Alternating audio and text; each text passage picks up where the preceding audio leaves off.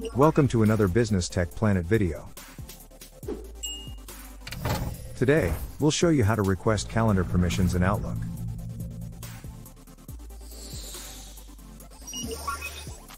First, we'll show you how to add someone else's calendar. Then we'll show you how to share a calendar with someone else. Please note that we'll be using the web version of Outlook. If the person whose calendar you want to access is part of your organization, you can usually add the calendar in Outlook. To add a calendar, open Outlook and hit the calendar icon in the left menu. Then go down and click Add Calendar. When the Add Calendar dialog box appears, select Add from Directory in the left menu. Now click the select box and choose a directory to search in. Then click where it says enter a name or email address.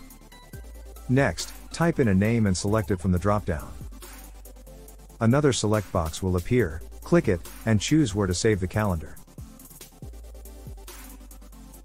If you can't add the calendar, or you need more permissions, send them an email. Ask them to share their calendar with the permissions you require.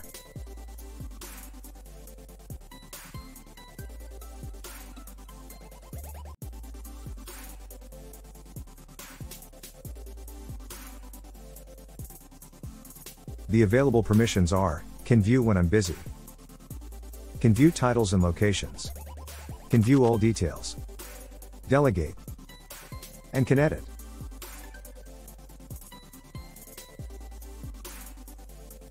To share their calendar, they need to open their Outlook calendar and hit the Share button in the ribbon. When the Sharing and Permissions dialog box appears, they can enter your name into the text box. And select your name in the dropdown. Then, they just need to select a sharing permission from the available options.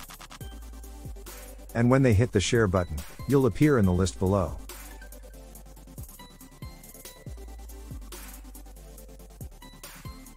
That's all for this video.